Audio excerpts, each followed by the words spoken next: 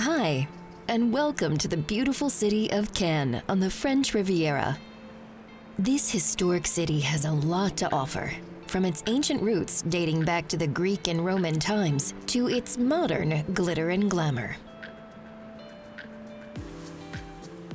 Cannes became a popular spot for celebrities, artists, and writers like Hemingway and Picasso during the 1920s and 30s. But it wasn't until the first Cannes Film Festival in 1946 that the city really made a name for itself in the world of culture. The festival is still held here every year and is one of the most famous and well attended events in the international film industry.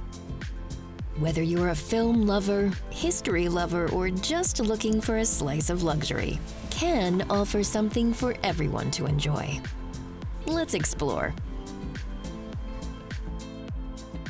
The oldest part of Cannes is the charming and romantic neighborhood Le Suquet. It has a long history dating back to the Middle Ages, when it was still a fishing village. The winding streets, lined with centuries-old houses and buildings, give it a very picturesque atmosphere. And even though it's popular with tourists in the evening, with its many nice bars and restaurants, it's still a relatively quiet place to explore and get away from the busier areas. The area also houses some of Cannes' most important landmarks. Up the hill of Le Suquet in Cannes' Old Town, you can find the Église Notre-Dame de l'Espérance, this church, built between the 15th and 16th centuries in Renaissance style, is the most important church in Cannes and is dedicated to Our Lady of Hope.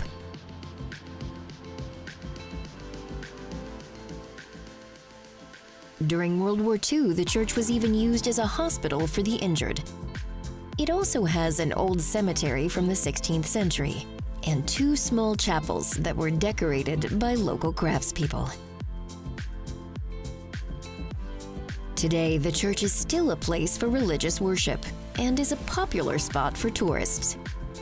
Every July, the square in front of the church is used for a music festival called Nuit Musicale de Suquet.